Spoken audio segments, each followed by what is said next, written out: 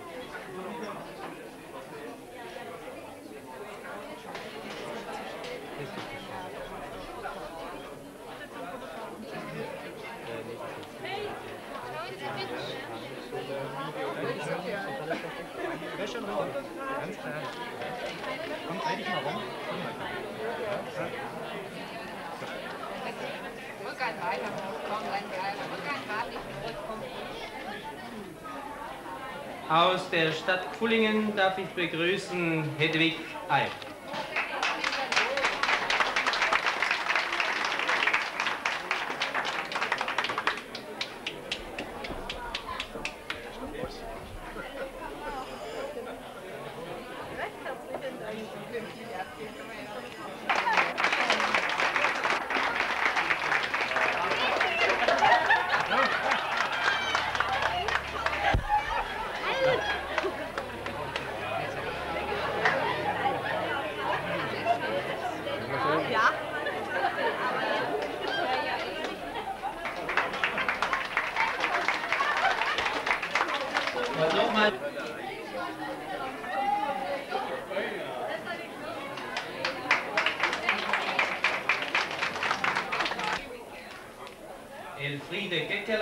geborene Eick und Werner Gekeller.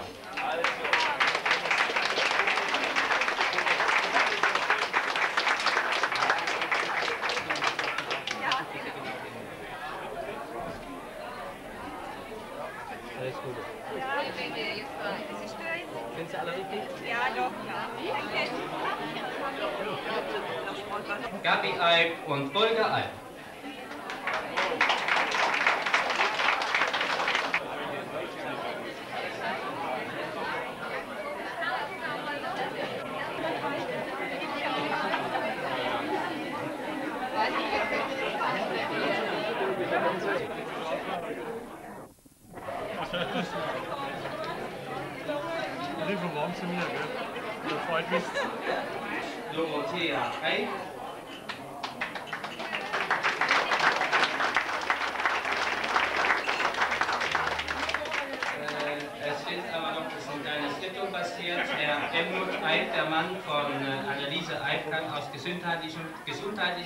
Gründen nicht hier sein. Herr Helmut Eib kann nicht hier sein. Also begrüße ich äh, Frau Anneliese Eib aus Kontal und äh, die Dorothea Eib. Und die Schwester Irene ist ein kleines Irrtum, das wird immer.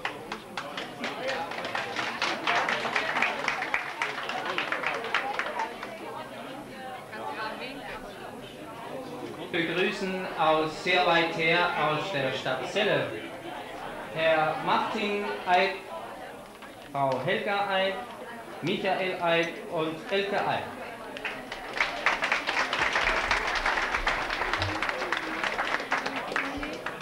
Hallo, grüß dich. Her herzlichen Dank für alles. Äh, Helga. Ja. Helga. Martin, Dankeschön. Elke und Michael. Elke und Michael.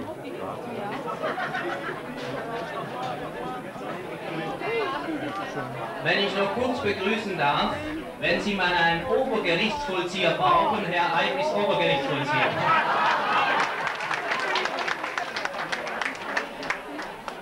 Stadt, Herr Wolfgang Eib, Christiane Eib, Charlotte Eib und Markus Eib.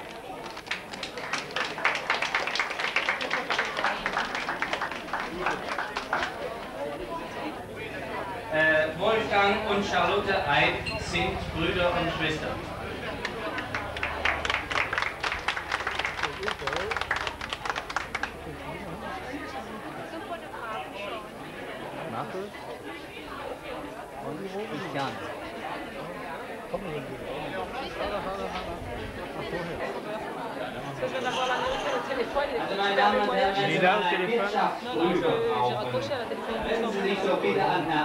Und an einen Venir à Strasbourg, euh, Strasbourg. Luxembourg, qu'elle prenne euh, direction l'autoroute Strasbourg.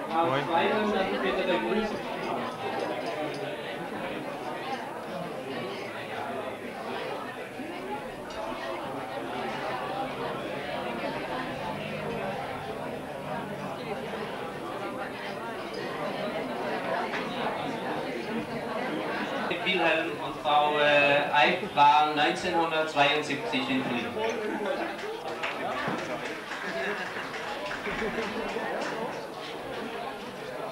von Wilhelm Eid, der gerade hier vorbeikam. Herr Dr. Wilhelm Eid, Physiker, seine Frau Brigitte Eid und Philipp Eid.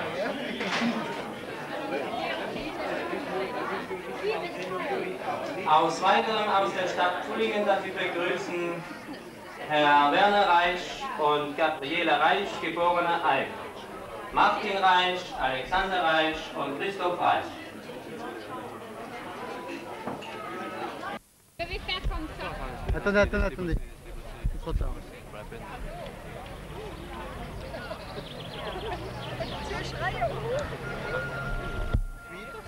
viu qual? O pontinho lá. Warum besteht das Boot auf Himmel?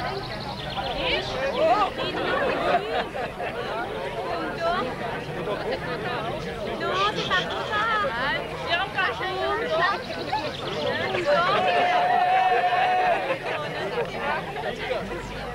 Hey, Daisy! Gut, gut, gut, gut, gut, gut, gut, gut, gut, Schwenk. Go, go. Das ist das, das, das, das. Schwenk. Hallo. Das ist so viel, das Ding. Hallo.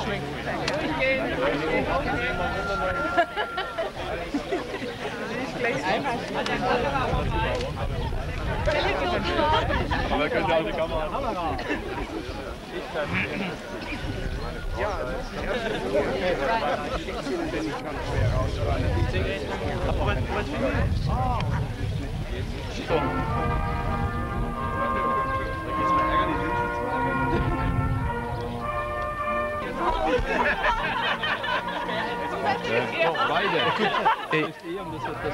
va faire tout de suite l'interview du Frédéric. Ein Zeuge zu sein über alle Zeit hinweg mit seinen Nachfahren. Und in dieser Berufung seid ihr eigentlich alle und wir auch und ich natürlich auch. Trägt, dass er ihnen viel Glück gibt im Leben, viel Schönes und dass ihr auch dadurch die anderen könnet segnen. Amen.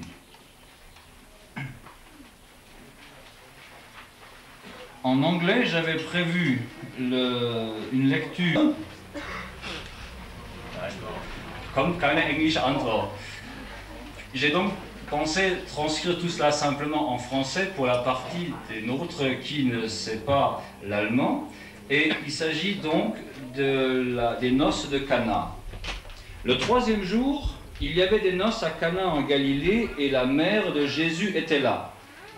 Jésus et ses disciples avaient aussi été invités à ces noces. La mère de Jésus lui dit, ils n'ont pas de vin.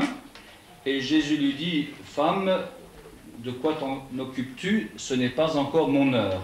Mais sa mère dit au serviteur, faites ce qu'il vous dira. Il y avait là six vases de pierre placés d'après la coutume des Juifs pour la purification, et il entrait dans chacune de ces jarres deux ou trois mesures. Jésus leur dit, remplissez les cruches d'eau, et ils les remplirent jusqu'en haut. Et il leur dit, puisez maintenant et, amenez cela au maître d'œuvre, au chef du repas. Et ils le firent. Et lorsque le maître d'hôtel goûta le vin, qui avait été initialement de l'eau, il ne savait pas, lui, d'où cela venait, mais les serviteurs le savaient, puisqu'ils avaient rempli d'eau. Alors donc, le maître d'hôtel dit, eh bien, chacun en général donne d'abord du bon vin, puis lorsque les gens sont ivres, il en donne du mauvais. Mais toi, tu as fait les choses bien mieux, tu as donné dès le commencement du bon vin. Voici le premier miracle que fit Jésus à Cana en Galilée.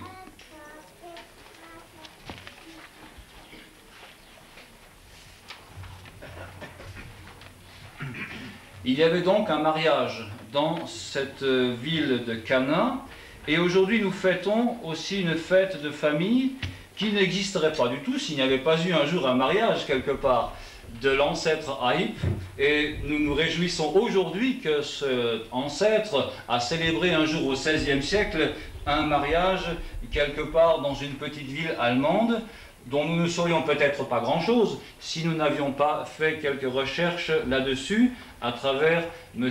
Aïp qui nous a appris tout cela. À Cana, Jésus était présent et se réjouissait avec ces gens qui n'étaient peut-être même pas de sa famille, ce n'est pas dit d'une façon très claire, en tout cas de ses amis, puisque Cana c'est à côté de Nazareth. Et là, Jésus était présent et se réjouissait.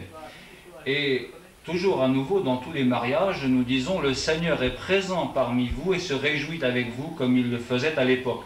Et je crois qu'aujourd'hui, on peut dire qu'il est aussi présent. Là où deux ou trois sont réunis en son nom, il est là. Et il est d'autant plus présent qu'à travers toute cette bénédiction de Dieu qu'il a accordée à ce couple à l'époque, eh bien, dans le fond, vous, ses descendants, vous êtes aujourd'hui les témoins même de la bénédiction qui fut accordée à ce couple à l'époque. Remplissez les gens.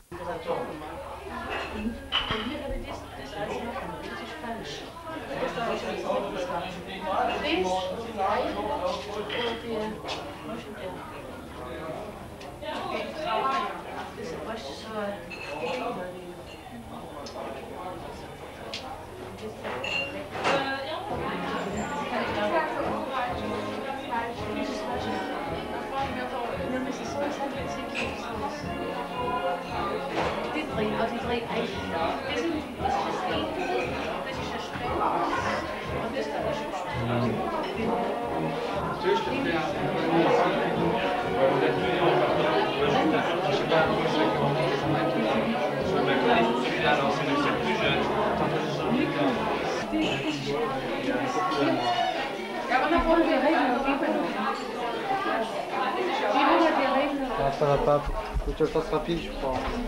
Je suis un peu lent là. Tu peux pas le faire plus rapide. J'ai essayé de le faire plus rapide. Tu peux te le faire en manuel. Peu.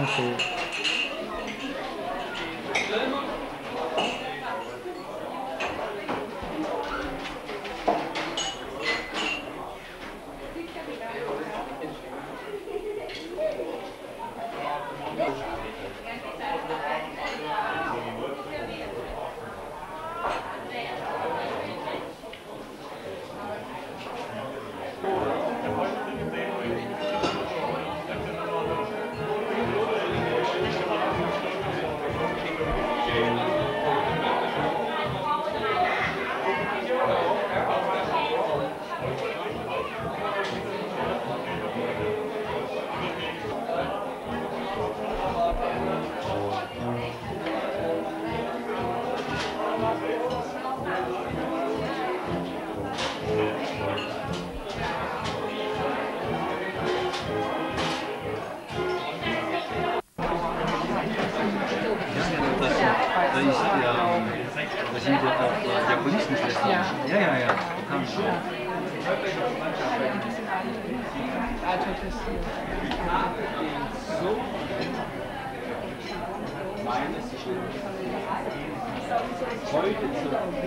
Ist die Beziehung mit Brandenburg? Da steht äh, ja wahrscheinlich, denn äh, der ist ja eigentlich der.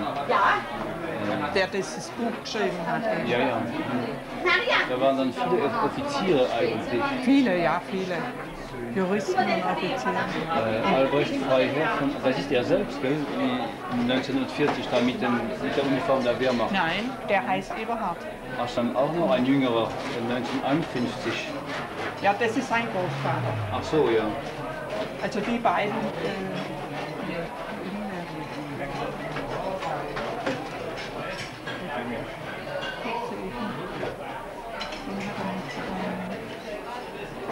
dieses Schloss immer weiter, immer weiter, die Verwandtschaften eigentlich. Und dadurch wurde das immer schwieriger, die Verwaltung.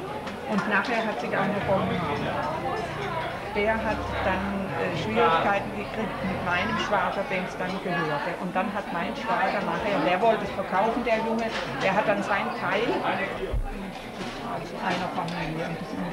Ja, ja, ja. Das ist alles ganz interessant. Was sind denn eigentlich diese, diese drei äh, Jakobschalen da? Pilgermuscheln. Ja, diese Pilgermuscheln. Äh, hat das eine Bedeutung?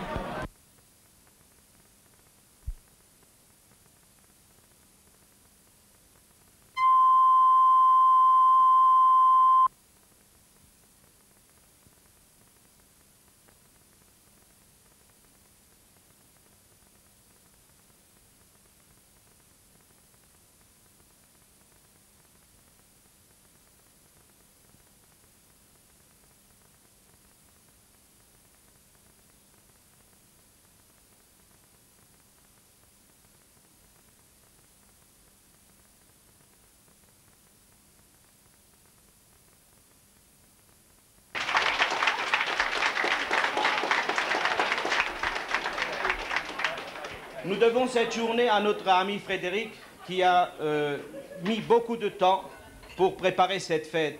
Pensez que ça fait 15 années qu'il travaille pour cette journée. Ça fait 15 années où il passe la plupart de son temps, surtout la nuit, parce que lui c'est un habitué de la nuit. Il travaille pratiquement que la nuit sur, euh, toutes ces recherches qu'il a faites dans beaucoup de pays.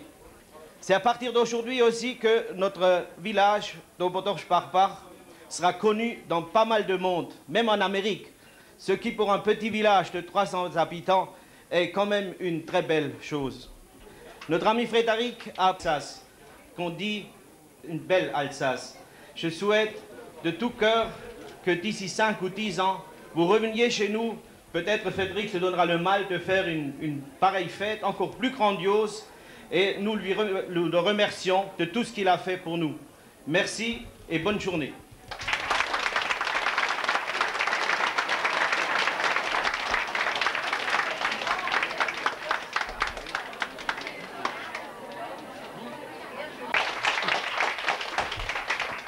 War ein Humanist und Humanisten sind ja sehr gescheite Leute. Er muss aber ganz unheimlich gescheit gewesen sein, denn auf der Rückseite steht Dank für das Eib-Eib-Treffen 1986.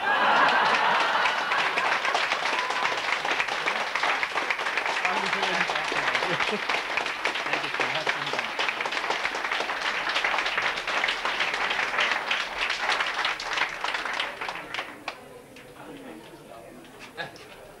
Und als letzter Gast möchte ich noch, habe ich eine Etikette übrig und die muss ich mir selbst anhängen.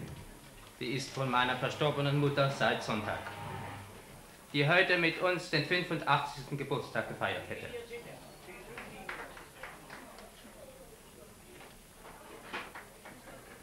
So, meine Damen und Herren, ich glaube, wir sind ein bisschen an das Ende gekommen mit der Vorstellung der beiden Herrschaften. Ich hoffe, dass ich niemand vergessen habe.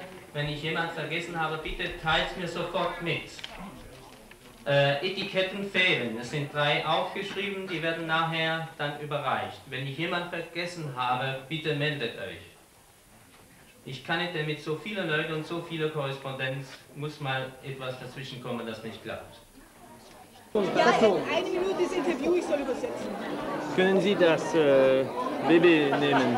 Du sollst das Baby nehmen. nehmen, so. Ja. Also. Okay, winzig Kinder rein. Winzig klein, winzig klein.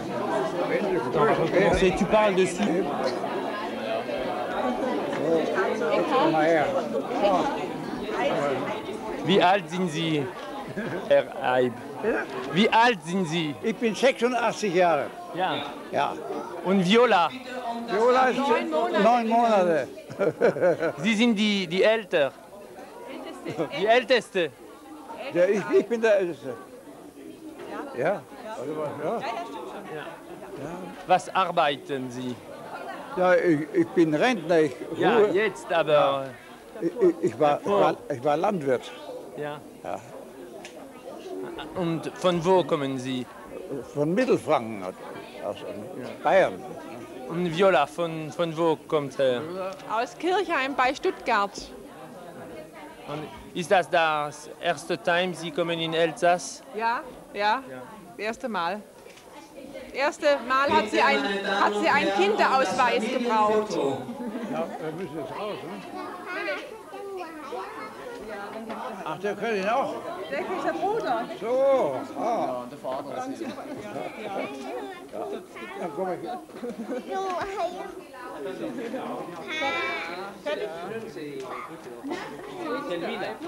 Das ist der Jüngste da. Jüngste, ja. Der Älteste. Ja, ja. ja, ja. Das Auch ein ja, Eberhard, auch ein war ja Eberhard. gewünscht. So, auch.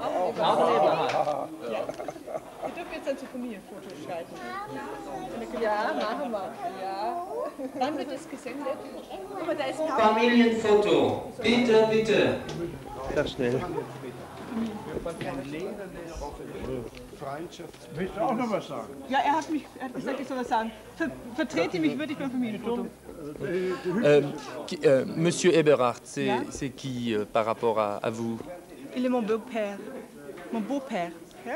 Et quel âge a-t-il Il a 18, euh, non, 86, je crois. 86 ans. Ja, 86. C'est le plus âgé de, la, de toute l'Assemblée. Si, il est très jeune dans son cœur. Et Viola n'a que 9 mois. Je, je crois, je ne le connais pas. Quel a été le travail de Monsieur Haib Maintenant, il est retiré, mais d'abord, il était docteur d'agriculture. Il a, et il a écrit l'histoire de la famille de Hype. Un livre comme ça. Et non, c'est tout. Il a quatre euh, fils. Et le, le deuxième est mon mari. Merci.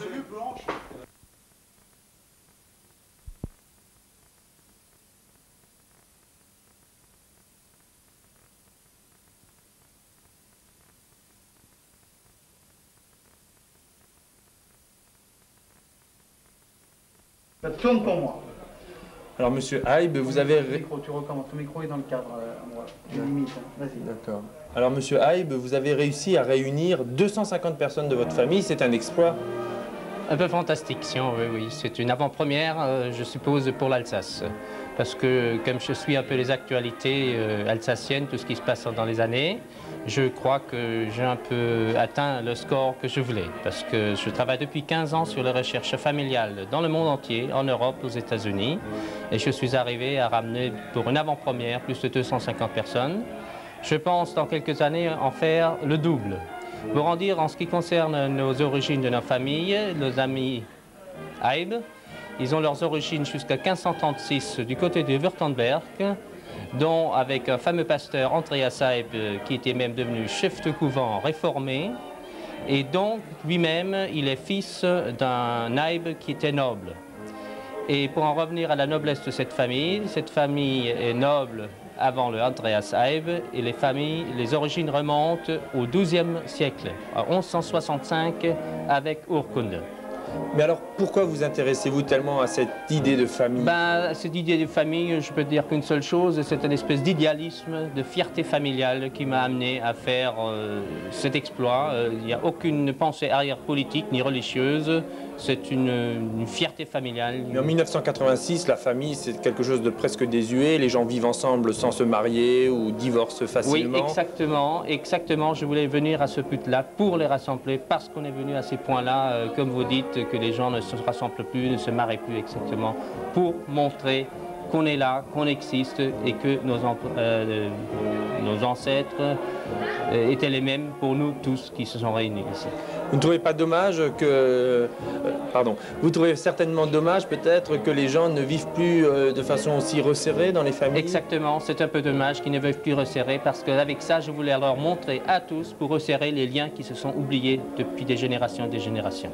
Mais vous ne pensez pas que plus tard, euh, la famille va être complètement dissoute, cela ne va plus exister? Je n'ai aucune arrière-pensée, comme je vous avais dit, politique ni religieuse. Si elle va peut-être dissoudre ou elle va peut-être même augmenter mais euh, j'essaie par tous les moyens de retenir que le, lien, reste ensemble. C'est pour ça aussi que j'ai sorti un espèce de bulletin euh, avec un tome 1 dont un deuxième et un troisième vont suivre dans quelques années pour qu'on reste en liaison continuelle entre familles.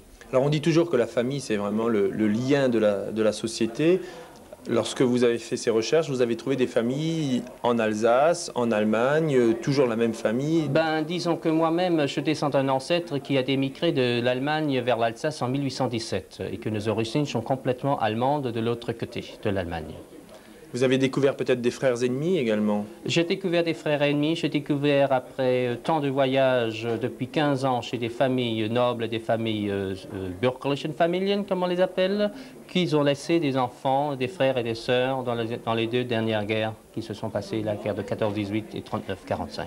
C'est-à-dire des haïbes euh, oui, du côté qui, français Côté français et côté allemand, qui se sont compadus sans le savoir.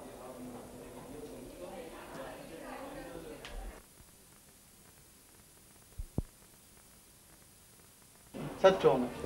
Avez-vous des célébrités dans votre famille? Oui, ensemble pour vous situer quelques-uns, partons des États-Unis. Aux États-Unis, le numéro 1, qui est le constructeur de la Jeep, qui est très connu pendant la dernière guerre mondiale, Calvin Cyrus Ive. C'est la Jeep qui a permis de battre les Allemands? Voilà, exactement. C'est monsieur était pendant ce temps-là le président directeur général de Willis Overland.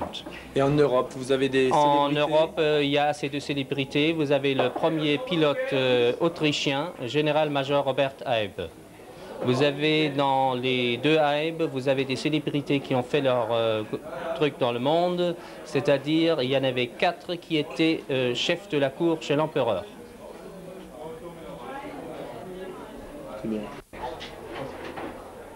Je suis contente d'avoir une grande famille. Je suis contente d'avoir une grande famille.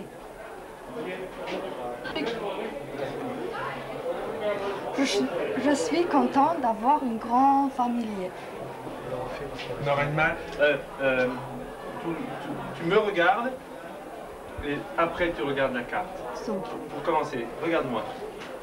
Euh, je suis contente d'avoir une grande famille. Bien, c'est bon pour le son